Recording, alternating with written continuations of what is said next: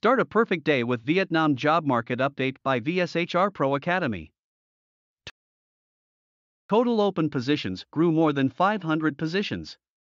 The IT industry seeked more than 1,000 positions.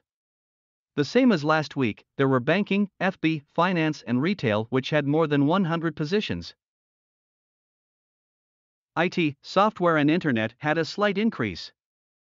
IT grew sharply from 352 to 502 positions. Software increased 40 positions and made out 355.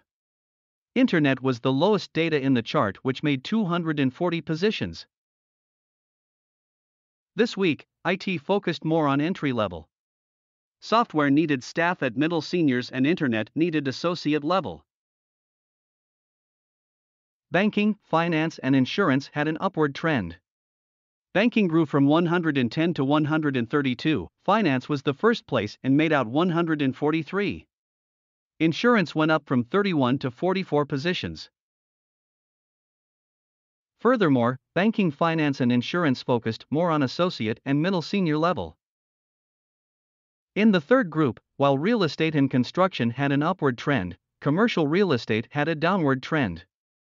Real estate grew 9 positions and opened 69 positions. Construction made out 17 and commercial real estate had a slight drop from 22 to 16 positions. Although the total vacancies were not high, three industries focused on recruiting associate level. In this group, real estate seeked more employees and had a lower competition when compared with two others. While FB kept dropping, food production increased this week. FB reduced from 113 to 104 positions, food production grew from 18 to 46 positions. Furthermore, those two industries both focused more on middle senior level. Consumer goods, fashion, and consumer electronics had an upward trend except retail, which had a slight decrease this week.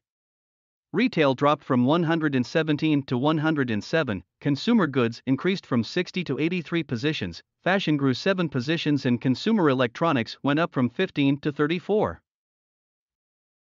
In addition, while consumer goods, consumer electronics, and fashion needed more staff at middle senior level, retail focused more on associate level. Thank you for your following and listening. Goodbye and see you in the next week Vietnam Job Market Update Report.